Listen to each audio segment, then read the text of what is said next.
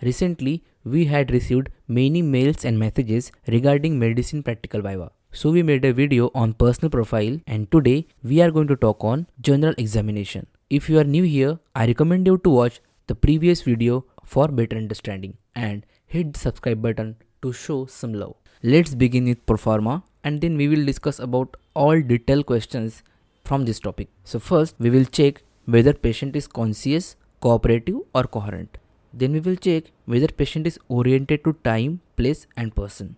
We will check the nourishment of the patient and sometime we have to check for BMI.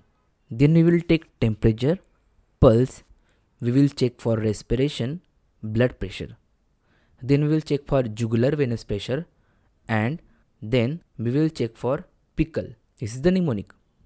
Pallor, edema, lymphadenopathy, icterus, cyanosis and clubbing. Then we will check skull, spine and skin. After that gait and at the end in specific topics or in specific cases we have to check for specific signs. So this is all about proforma. This is the continuation of our previous topic and in that topic we discuss about why do we ask name, age, sex, occupation, religion, address. All the details have very significant value. Then we discuss about how to take chief complaints, HOPI. Then we have to take past history, personal history, family history and then we will go for general examination. First of all, we have to say patient is conscious, cooperative, coherent, well oriented to time, place and person. Now here I am going to ask you why did you check for consciousness? Then you will have to say sir consciousness it is a state of awareness of oneself and one's environment. Then I can ask you what are the grades of altered consciousness? Then there are four grades of altered consciousness. The first one is somnolence which is also called as drowsy. The second one is stupor. Third one is semi-coma and the fourth one is coma.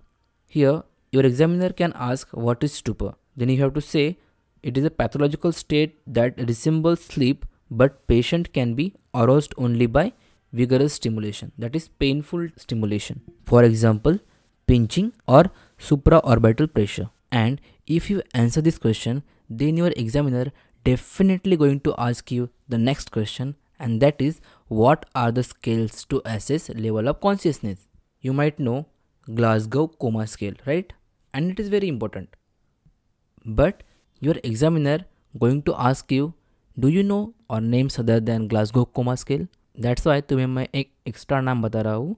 That is A V P U alert V for response to voice P for response to pain and U for unresponsive so this is the another scale to assess the level of consciousness and आपको इसके component याद रहने चाहिए because it is very important not for the examination purpose only but for your knowledge there are three behaviors eye opening, verbal response and motor response. In eye opening, patient can spontaneously open his eyes or to the speech, to pain or no response. In verbal response, patient can be oriented to time, place and person. He can be confused. He or she can use inappropriate word or there might be no response.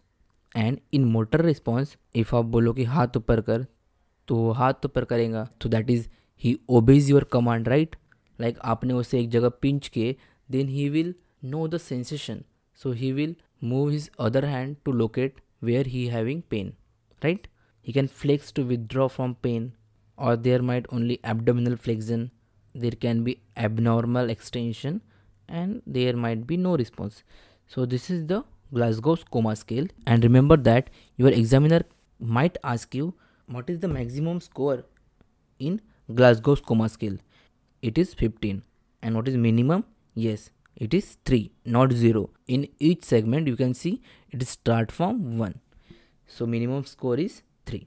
now look over here. Here I said patient is conscious, cooperative, coherent, well oriented to time, place and person.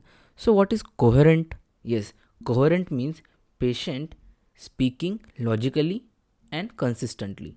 And what is oriented? Yes, oriented means function of mind involving awareness of three dimensions that is time, place and person.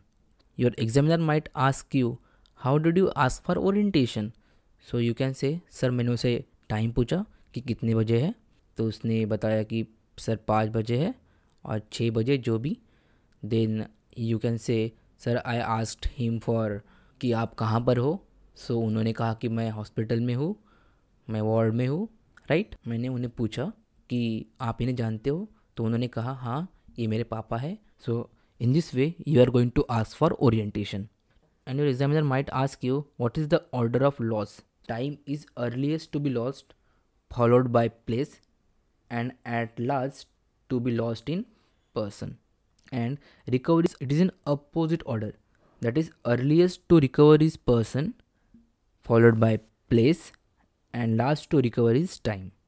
So this is orientation. Then i said we have to check for temperature pulse check for respiration and blood pressure. This is the topic of interest for your examiner. Your examiner might ask you what is the normal temperature? What is the definition of fever, what are the types of fever, what are the causes of hyperpyrexia, what are the causes of hypopyrexia, the sites from where you can take the temperature, examples of fever with chills and rigor, what is the pyrexia of unknown origin. So, this type of questions your examiner might ask you, and you should know the answer. If I am going to give answers to each and every question here then this video is going very lengthy. So if you want this topic to cover please comment and like this video. Though depend on your like we will going to upload our next video on temperature. Thanks for watching this video